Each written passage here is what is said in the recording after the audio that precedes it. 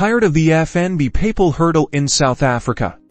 Let's bypass it and get you transacting smoothly. First, head over to PayPal's South Africa website. That's paypal.com, ZA, home. And if you don't already have one, sign up for a personal account. Make sure you use accurate details.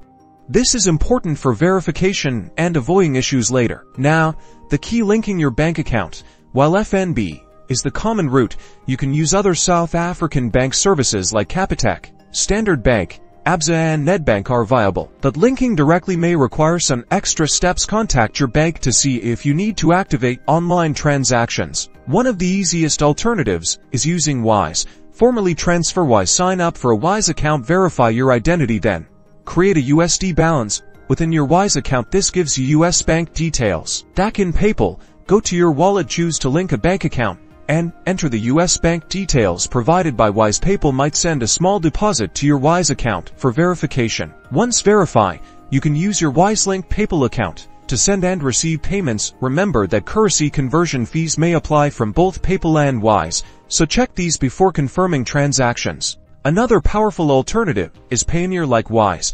Payoneer allows you to receive payments globally. Sign up to Payoneer, get your USD bank details, and follow the same process of adding bank details to PayPal. Finally, consider linking a credit card or a virtual credit card to your PayPal account. This works well for making payments, but receiving might still require a bank account. So, there you have it.